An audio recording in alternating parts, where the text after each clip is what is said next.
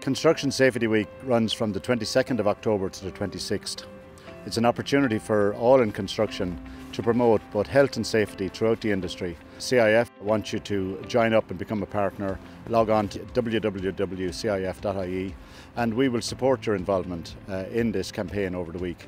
And certainly I look forward to it being a very successful week and promoting both health and safety extensively throughout the industry.